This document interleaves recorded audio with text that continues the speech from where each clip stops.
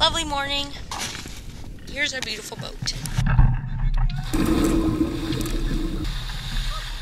Went to the island on our little dinghy.